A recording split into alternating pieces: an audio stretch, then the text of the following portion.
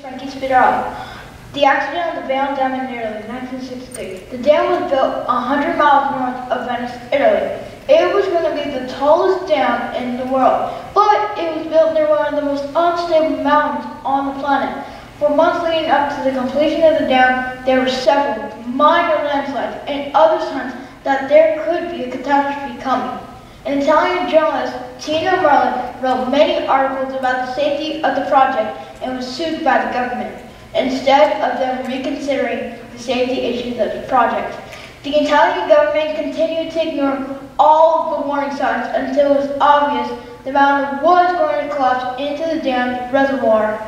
The engineers calculated the landslide that was likely to occur, lowered the water in the reservoir to what they believed was a safe level, then actually stand on top of the dam the night the landslide was going to occur to watch it all go down. The only problem was the landslide was 10 times more powerful than what their calculations had predicted.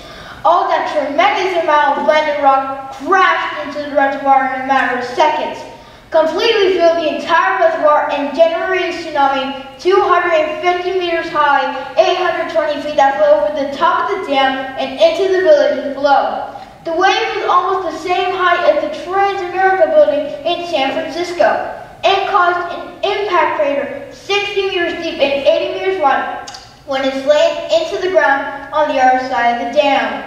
The town Longarone looked like this before the tsunami, but afterwards looked like that completely destroyed. Around 2,000 people lost their lives in the accident. But this wasn't the biggest mega tsunami in history.